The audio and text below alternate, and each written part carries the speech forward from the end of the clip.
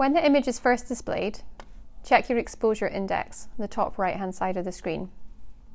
It gives you an idea of whether you are under or overexposed. The number you're looking for is between 2000 and 2500. Anything lower than 2000 would indicate that it is underexposed, and over 2500 would indicate that it is overexposed. Once your x-ray is up on the screen, we can do a host of manipulations to it. Over on the right, we have simple tools or advanced tools. We'll start with simple tools. When you hover over something, it will tell you what it's going to do. So pan, as you move the image around. Markers, if you click where you'd like to have your marker, then you can pick from the list or you can do free text. You can then move your marker around, or if you don't want it anymore, you can put it in the bin. If you select brightness and contrast, then hold down the left mouse, you can move up and down or left and right.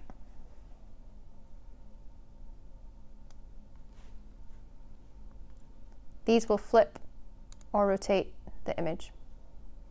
This will free rotate on any angle. These are your zoom tools. ROI zoom lets you draw a region of interest and zoom just into that area. To undo this, you can do scale to fit and it will go back to normal. Free zoom is the most helpful I find. Left click your mouse and pull the mouse forward and backwards to free zoom. You can zoom the image by 100% or if you right click on this you can choose to zoom by between 25 and 100%.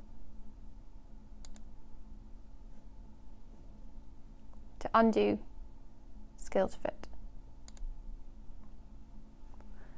If you right click on scale to fit, you can enter full screen. This is a really nice way to view your images. Down at the bottom right of the screen, you can exit full screen.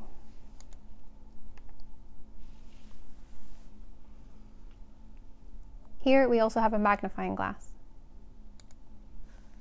Left click with the mouse to magnify.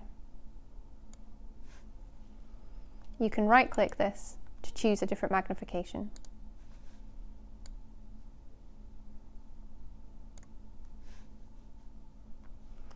These are your cropping tools. Pick either the trapezoid or the oval. You can then pull in to whatever shape you need.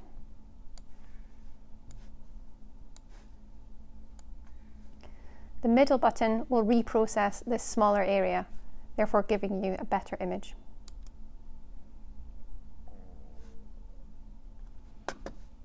To undo, we have the undo button here and it will undo the last thing. We also have reset to go back to the original image.